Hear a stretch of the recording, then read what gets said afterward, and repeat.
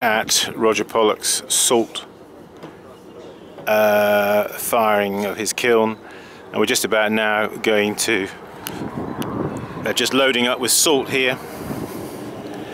Loading up with the salt. We're going to put it in the back of the kiln first. And uh, and then we'll do these uh, front two ports here there's quite a smell of hydrogen chloride in, in, the, in the air at the moment. And we do this the, every 10 minutes at the moment.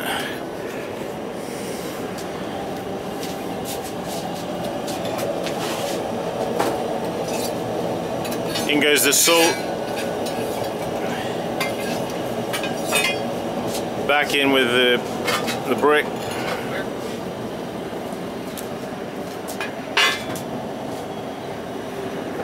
We're going to have a look at the chimney. Should be a good amount of smoke coming out there.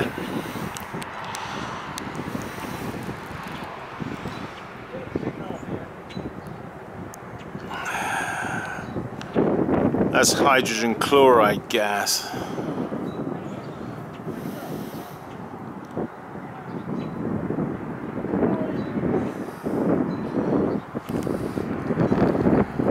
So the best thing is to always be downwind when Jason, that is hydrogen chloride gas, is it? Yes. It is. I thought so. Yeah. Yes, I can. I can taste it and smell it. How do you think it's going? So far, good. Yeah. I'm, I'm concerned because we had to readjust those burners. So it's We, we had a bit of a. Tell us what happened. We had a little bit of a problem, didn't you, during the initial? Overnight, uh, we forgot to put in the passive, the bricks for the passive damper in Right. the back. So as it was candling heating up, we started achieving reduction at a lower temperature than we wanted.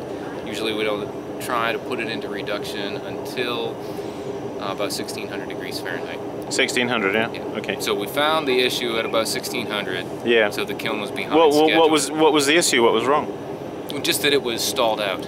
Stalled Um, out. Which means if if the reduction had been set properly, we would have a, had a more efficient burn of the propane. So essentially, we weren't getting enough oxygen to come into the kiln and mix with the propane to achieve an efficient Right. burn. So our temperature went up more slowly. More slowly. yeah. So essentially, we just wasted a bit of gas. What happened though about the? Wasn't there some obstruction?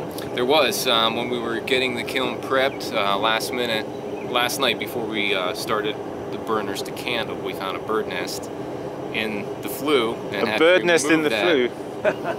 Uh, before we got going. Was that a starling's nest? starling? Oh gosh. yeah. Invasive species Invasive species. invading our kiln. Okay. So this is probably now going to continue for uh, salting in this first hour for every like every 10 Every minutes. 10 minutes for the first hour, and then uh, every 15 minutes, and that usually takes an additional two hours or until we run out of salt. Um, we found uh, at typically we use about 20 pounds of salt per firing. and 20 that- pounds. That achieves you know good glazing for us. In the past, uh, to to learn the amount of salt that needed to be added, we would put test rings in the kiln. Yeah. So every time, um, like we would salt for a couple of hours, and then we would start pulling test rings out to see how much glaze had built up on the Yeah, surface yeah. of those rings. Yeah. And then we could determine when we had a sufficient amount, and then shut the kiln down. After doing that that procedure for 20 firings or so, You got we to know. that 20 pounds was 20 the pounds was about the- the- the right amount. Kiln Okay. and uh, that's given us extremely consistent results. So we, we've determined there's certain places in the kiln that get better salting, so there's sort of sweet spots, Yep. and we've adapted our work um, with uh, the use of just you know using raw clays or putting glazes on those. So a place that doesn't receive as much salt vapor, Yep. we'll, we'll typically put pots that have a glaze on in that portion of the kiln. So they, it's more of an, a reduction effect that's enhanced a little bit by the salt vapor. Okay. Other portions of the kiln where we get heavy salting, we want to put raw clays, so that exemplifies all the characteristics of that raw clay, the mineralogy of that, and the color response. Okay. You know, with the salt and the and the glaze buildup there. Interesting. Well, is it, and the next Saturday we're going to be opening this kiln. Is that right? So we must we'll be here to have a look at those results. Great. Hey, thanks, Jason. I'm going to now remove myself out of the out of the path of this smoke. Yes, you, the smell of the smoke and the it uh, can make your eyes sting a bit sometimes. Anyway, hey, thanks for joining us, and we'll be continuing here. As I say, next Saturday we'll be opening up this kiln and um, see the results. Hey, take care and keep practicing. See you. Dee, dee, dee, dee, dee.